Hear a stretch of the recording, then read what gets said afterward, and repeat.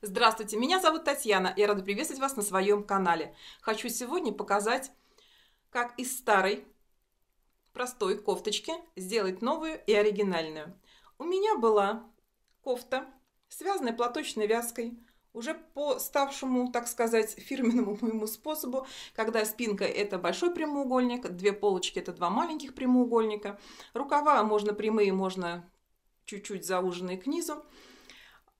И вот сегодня утром я убрала шеверюшки, катышки, привела кофту в порядок, пошла к маме, и пока я мыла пол и гладила белье, мама мне сотворила вот такую красоту. По-моему, стиль называется рококо. Я вышивать, к сожалению, к стыду, не умею. Так, где у нас рукав? Вот у нас рукав, сейчас поймаем. И здесь несколько цветочков, то же самое.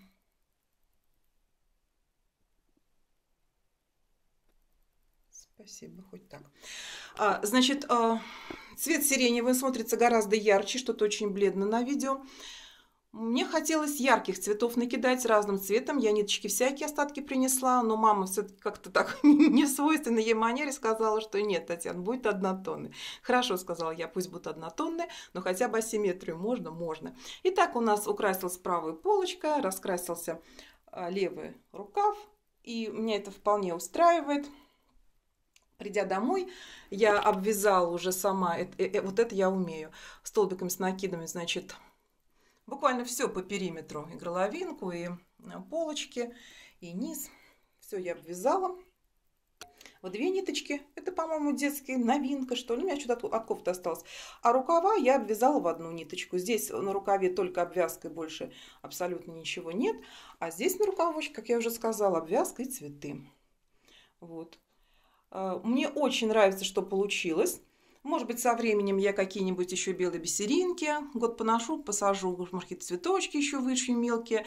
Все это потом, пока мне нужно позаботиться о топике такого тоже нежно-сиреневого цвета. И я буду красавицей.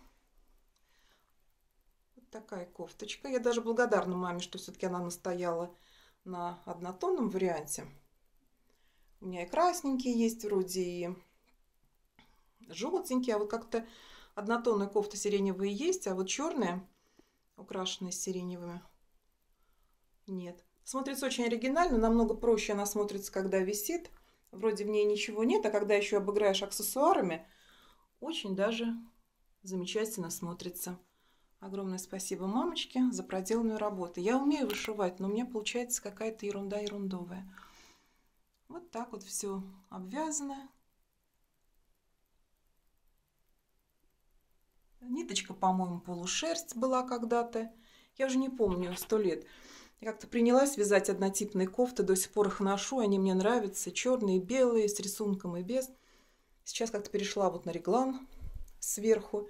А тогда, тем более такая коротенькая, кофточка. Хочу еще я пуговичку подыскать. Вот сюда просится пуговица, но я не знаю пока в зеленоватеньких тонах, в черненьких или сиреневатеньких. Это надо прикладывать, это надо играть. Здесь, наверное, дело не от цвета, будет зависеть от того, как э, будет смотреться в общей гамме.